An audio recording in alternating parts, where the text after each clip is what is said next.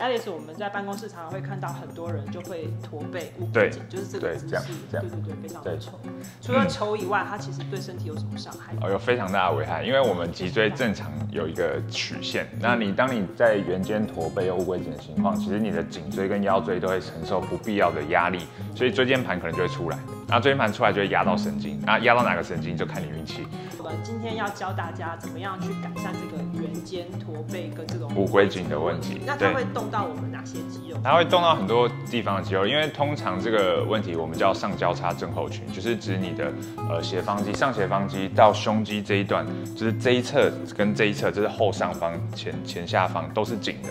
那你的后呃另一侧脖子这一侧到背的中间这一侧，这一侧全部都是弱而无力的，它是有点被拉长的，所以我们要针对这四个方向都去做改变。那么接下来呢，我们就跟着 Alice 大家一起嗯站起来动动看，就是怎么样来改善我们的圆肩跟驼背啊。对还有记得呢，我们现在的频道呢已经搬到了绿色东方了，所以请大家订阅、分享、按赞，还有不要忘记开启小铃铛小铃铛。，嗯。